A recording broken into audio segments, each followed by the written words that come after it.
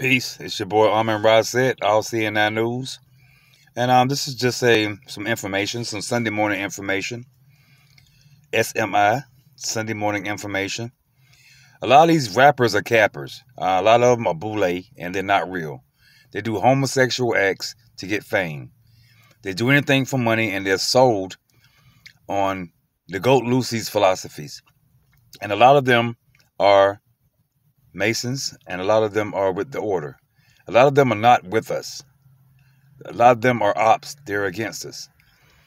Um, a lot of them are not sincere. A lot of them are selfish. A lot of them are LGBT oriented, which is not a bad thing, you know, whatever the case is.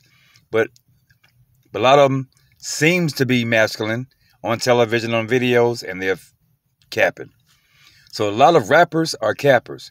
There's none of them that you can trust. You cannot trust none of them. So, Real Soul Music, all CNI, Swamp Town Records mission is to clean all that up. So be prepared. Real soul music, where real music exists, no boule. Pay attention. We have a couple of great releases coming for some from some great artists that were des- uh, that are destined to change the game.